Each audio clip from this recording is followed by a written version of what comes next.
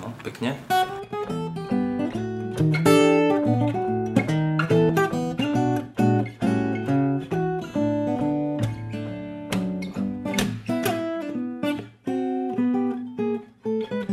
W Arktyce przykładowo, czyli naszej północnej e, półkuli, e, turystów dociera coraz więcej, innymi na, na Svalbard, należący do Norwegii, archipelag między Norwegią a północnym biegunem.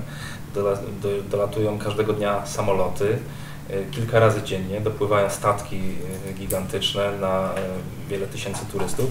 I podobnie sprawa ma się w przypadku Antarktydy. Taki statek podpływa gdzieś tutaj na przykład w okolice stacji naukowych, wysadza tych wszystkich turystów, czyli te kilka tysięcy ludzi pontonami na brzeg, oni sobie chodzą i, i po chwili wracają, ale ta, ta, ta, ta gwałtowna, ten gwałtowny napływ takiej rzeszy turystów no, staje się coraz bardziej uciążliwy nie tylko dla, dla, dla środowiska, ale również dla badaczy. Trudno też chronić z drugiej strony Antarktydę przed y, jej całą przyrodę, przed y, działalnością człowieka, jeżeli ludzie nie zobaczą tego na własne oczy.